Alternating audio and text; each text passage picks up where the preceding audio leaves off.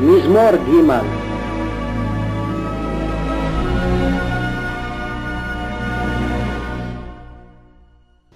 מזמור לדוד בבורחו מפני אבשלום בנו.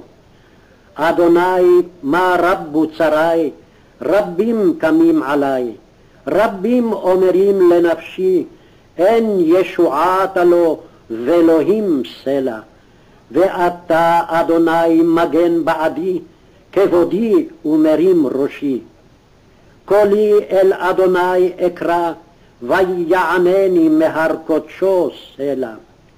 אני שכבתי ואישנה הקיצותי, כי אדוני ישמחני.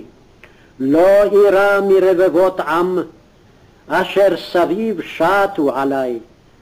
קומה אדוני הושיעני, אלוהי כי הכית את כל אויבי לחי. שיני רשעים שיברת, לאדוני הישועה, על עמך ברכתך סלע.